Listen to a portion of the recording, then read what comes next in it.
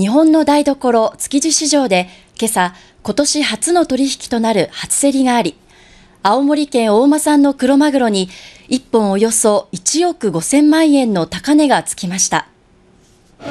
えー午前5時を回りまして冷凍マグロの初競りが始まりました、えー場内にはずらりと冷凍マグロ並んでおります、えー威勢のいい掛け声が飛び交っておりますね。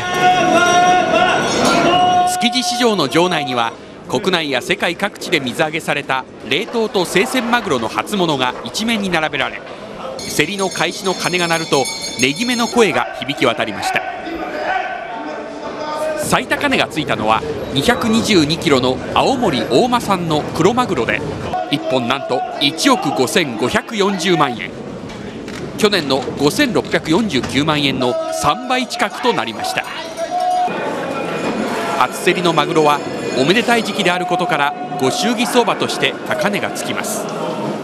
本日初競りで1億5000万のマグロを競り落としたこちら築地清村。競り落としたのは去年も最高値で落札した築地などに店を構える寿司チェーン店。値段は後からついてきて高かった。ね ちょっと高くなってきて。やりました。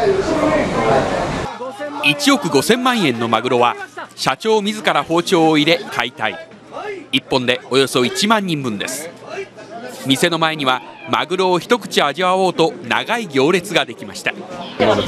去年から待ってました。1人1貫限り赤身が128円大トロが398円の通常価格で食べられます。とろけます。